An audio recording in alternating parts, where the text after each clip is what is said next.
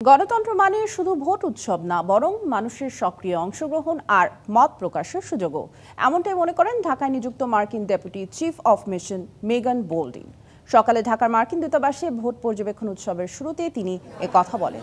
দূতাবাসের এই আয়োজনে বাংলাদেশের নির্বাচন বিশেষজ্ঞ, ভূ রাজনৈতিক বিশ্লেষক, সংবাদকর্মী সহ অনেকেই অংশ নেন। সেখানে বাংলাদেশের নির্বাচন কমিশন সংস্কার কমিশনের প্রধান ডক্টর বদিউল আলম মজুমদার বলেন যুক্তরাষ্ট্রের রাজনীতিতেও গেল কয়েক বছরে বিভাজন তৈরি হয়েছে, যা কাম্য না। এবারও কামলা হ্যারিস স্বল্প ব্যবধানে জিতলে এই বিভাজন বেড়ে যাওয়ার আশঙ্কা রয়েছে।